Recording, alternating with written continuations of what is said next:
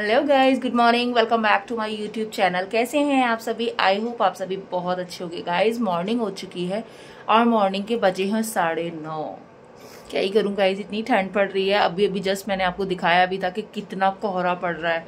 कुछ भी नहीं दिखाई दे रहा है। मकर संक्रांति निकल चुकी है तो मैं आशा कर रही थी और सभी लोगों की होप थी कि भाई धूप निकलेगी। अब तो बाहर बैठेंगे, लेकिन बाहर का नज़ारा क्या ही बताऊँ, क्या ही दिखाऊँगा इसमें आपको यहीं से देख सकते हो। आप ये देखिए। ओ गॉड गॉड गॉड दिख रहा है? ये देखिए ये देखिए। देखिए गाइस ये देखिए। तो देख लिया ना गाइज़ आपने? कुछ ऐसा हाल है हमारे शहर का हमारे शहर नोएडा का।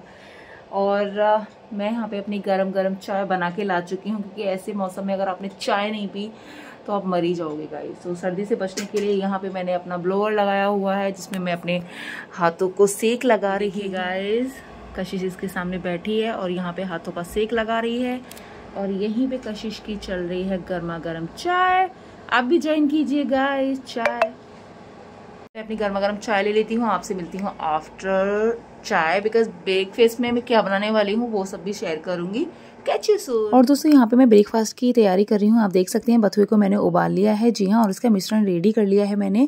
और अभी मैं इनके पराठे बनाने जा रही हूँ। दो ऐसे छोटे छोटे पूड़ियाँ बना के उसमें भर लेते हैं ये बथुआ। और यहाँ पे मैंने आलू की पिट्ठी बना ली है। अनियन वगैरह मैंने काट लिया है आलू उबाल के। और यहाँ पे मैंने हरे धनी की चटनी भी रेडी कर ली है गाइज़ और यहाँ पे मेरे गर्मा गर्म बन रहे हैं बथुआ के पराठे। जी हाँ गाइज़ ये देखिए ऑयल लगा रही हूँ मैं। और क्रिस्पी होने तक इनको सेकूँगी मैं। और फाइनली गाइज़ रेडी हो चुका है मेरे बथुए का पराठा और यहाँ पे आप देख सकते हो हरे धनिए की चटनी। Wow wow wow. क्या डिलीशियस खाना है मज़ा ही आ गया और गाइज़ यहाँ पे मेरे आलू प्याज के पराठे भी रेडी हो चुके हैं। You can see guys wow wow wow बथुआ के पराठे और आलू के पराठे गाइज़ ये लीजिए और ज्वाइन कीजिए कशिश के साथ। गाइज़ मैं जा रही हूँ थोड़ा सा घूमने के लिए नीचे और मुझे नहीं पता मैं क्यों जा रही हूँ एक्चुअली क्योंकि घर में पड़े पड़े हो गई हूँ मैं। बोर इसलिए। गाइस आपको पता है ना कि मुझे लिफ्ट में कितना डर लगता है। सीरियसली मुझे बहुत डर लगता है।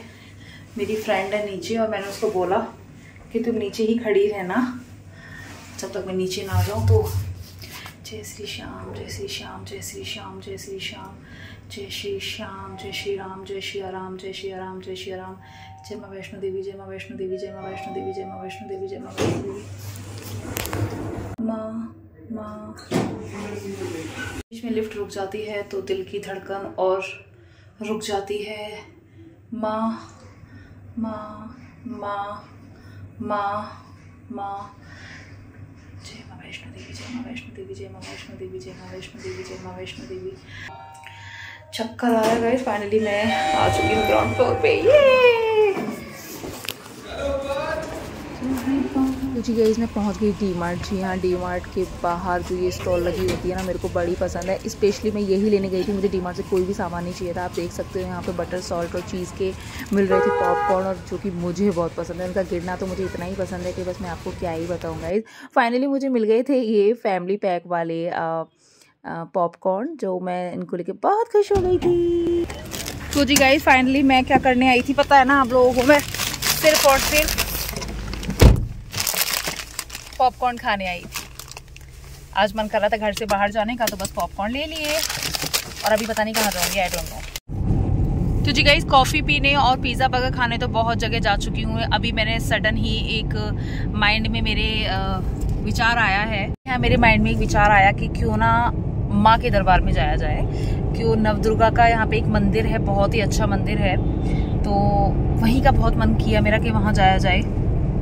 पता नहीं क्यों अंदर से आवाज़ आएगी कशिश तुमको वहाँ जाना चाहिए। कॉफ़ी कैफ़े और ये सब चीज़ तो मैं सारे दोस्तों के साथ जाती ही रहती हूँ।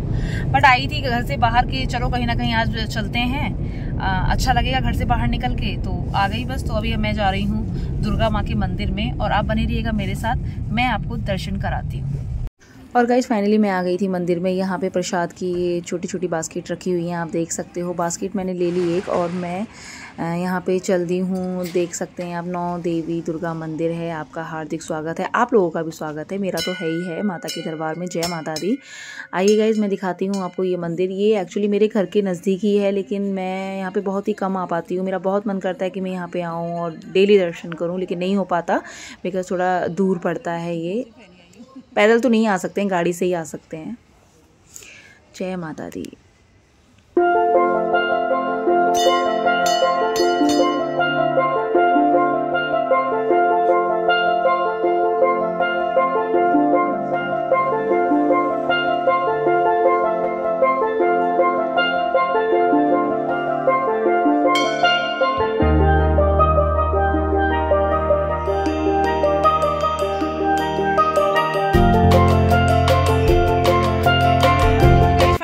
माता रानी के दर्शन हो चुके हैं और I am very fully satisfied अभी देखते हैं कुछ खाने पीने का मामला।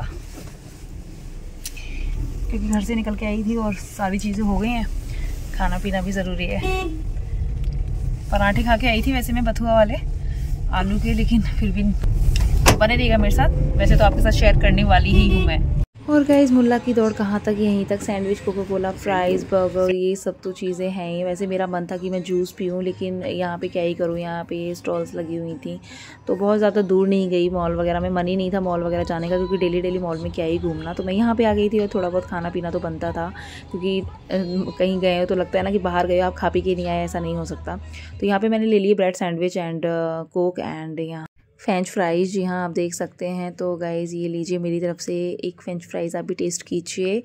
और गाइज़ फाइनली खा के तो मुझे मज़ा ही आ गया सीरियसली गाइज़ इतना मज़ा आया ना कि बस गजब। यहाँ पे मैं पॉपकॉर्न लाई थी, देखो मेरे साथ शेयर कर रहे हैं कौन? आदित्य और कृष्णा। हेलो तो कर लिया करो यार मेरे दोस्तों से।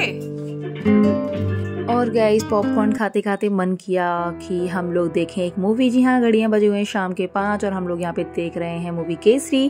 बिकॉज़ बहुत मन कर रहा था हमारा केसरी देखने का। ये चॉइस मेरी ही थी कि केसरी मूवी देखी जाए अक्षय कुमार की। तो आज मैंने हीरो चुना था अक्षय कुमार। तो कैसा लगा ब्लॉग बताइएगा